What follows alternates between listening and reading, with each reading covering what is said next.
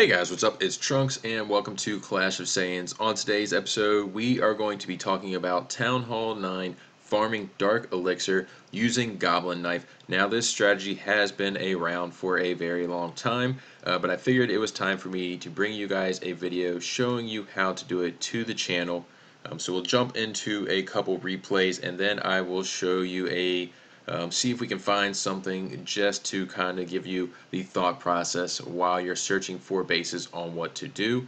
Now the general premise of the attack is that you are going to come in but typically what I do is 14 giants, 100 goblins, 32 archers, Clan Castle, you can either request if your clan will give it to you, Giants, Golem, Pekka, anything that can tank to get your, um, keep everything off of your Goblins and then usually you want about six wall breakers. Um, sometimes the troop competition composition will vary. Um, some people take additional giants, some people take more wall breakers, some people will bring in more goblins. It all varies.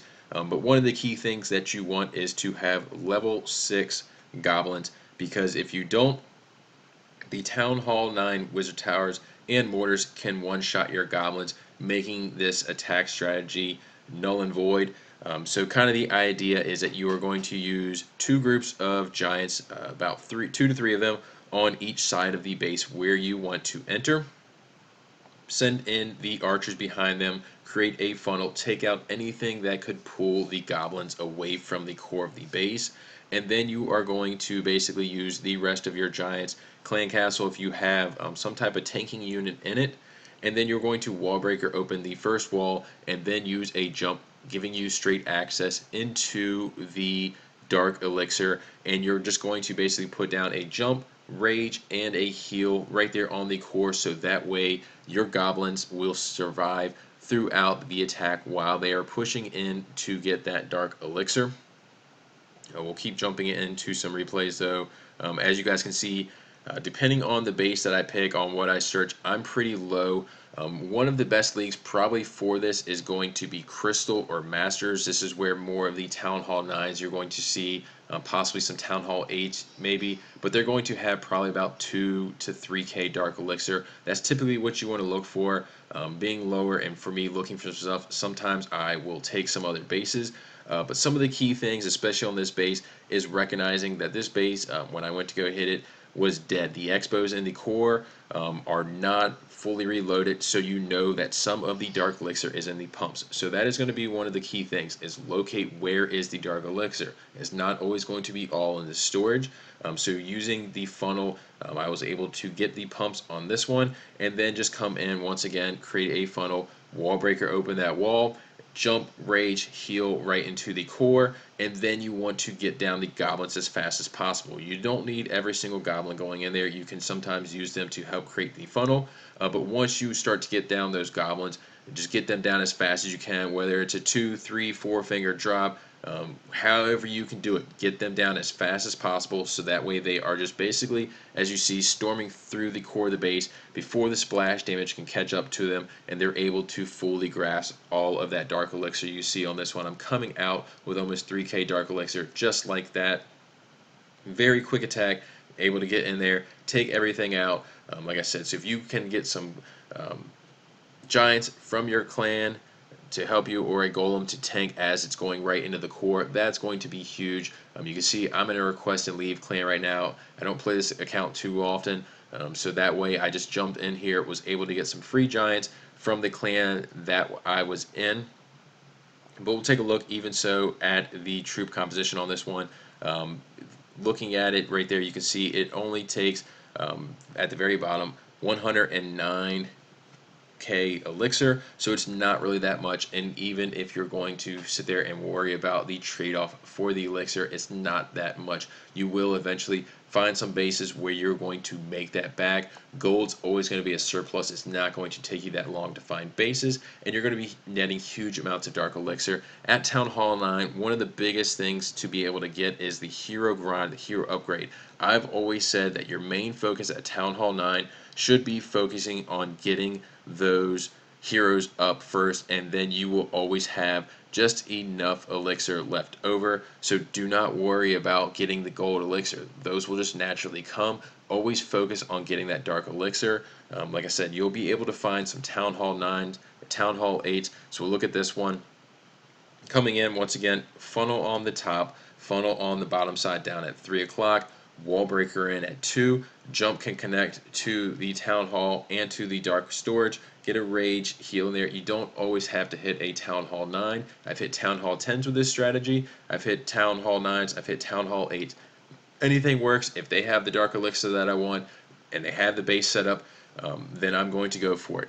Like I said, if they have the base setup, square bases like this where you can get a compartment on the outside that you could wall breaker open and then have a jump leading right to the Dark Elixir are key. You want to avoid kind of the ring style bases where your goblins could essentially just run around and if there's some type of moat or something around the Dark Elixir, these are the bases you want to avoid because your goblins are not going to have very good pathing to and get that Dark Elixir. Remember, the key of this attack is to go for the Dark Elixir and anything else that we get is a bonus. Especially with this attack, you do not always need the queen. And like I said, I've seen variations. I've seen some people bring P.E.K.K.A.s um, instead of a couple giants. It comes down to how you really want to. What is your attack preference? Uh, but we'll go ahead, jump in, see if we can find something. I'll flip through a couple bases. Um, like I said, I don't play this account too often, so I'm only down at around 1,400 trophies, um, so not that much.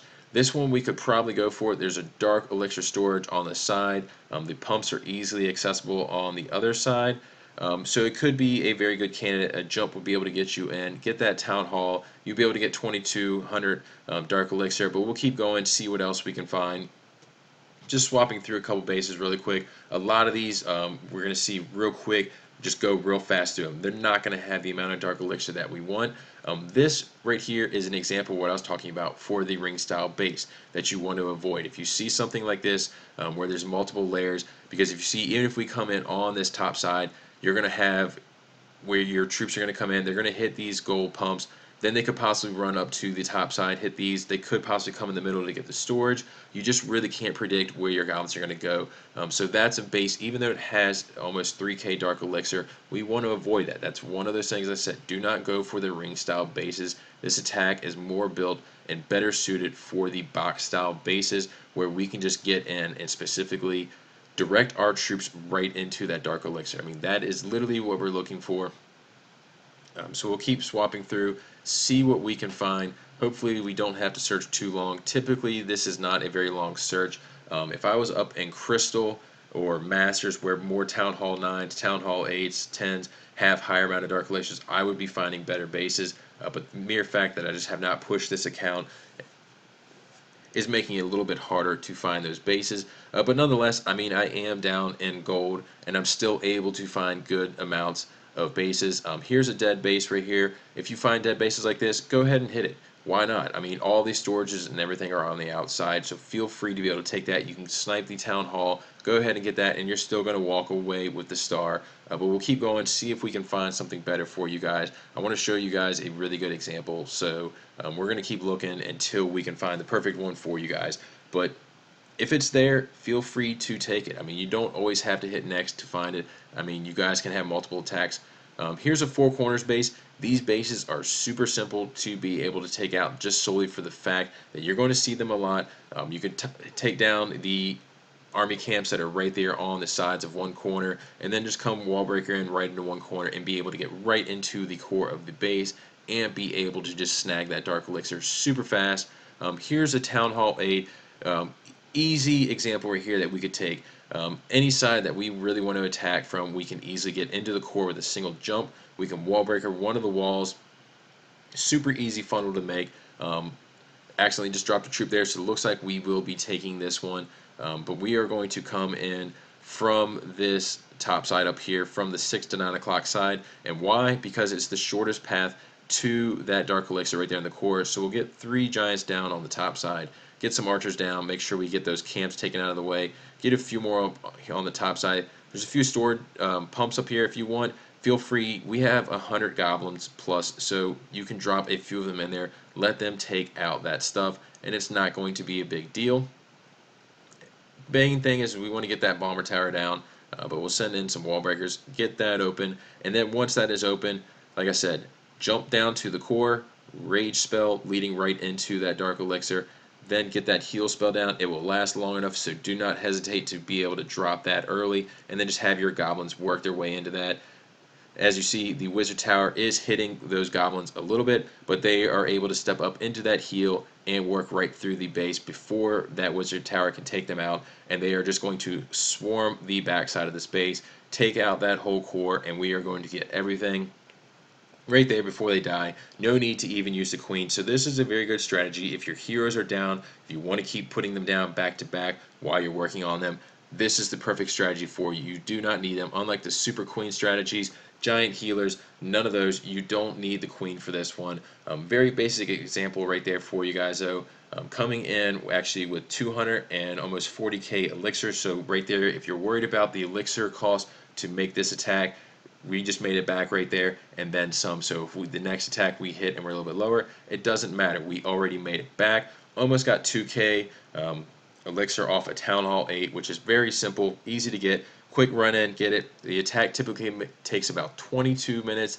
um, roughly or so, to make. So it is super fast to make, and it will allow you to just keep running this attack back to back. I think I ran this casually the other day on my account or on this account, and I was easily able to make 30, 40k, not even trying. So if you guys are going to, you know, use some gems, get those um, barracks going super fast, be able to pump out these attacks or sit down, have some time. You're going to make a ton of Dark Elixirs super fast, be able to put those heroes down repeatedly, and then you're going to have 30 30 heroes in no time. But that is kind of going to be Goblin Knife for you guys. Super easy farming strategy, super effective. If you guys have any questions, comments, feel free to leave them below. I will try to answer everything I can for you guys. But until next time, this is Trunks helping you stay over 9,000.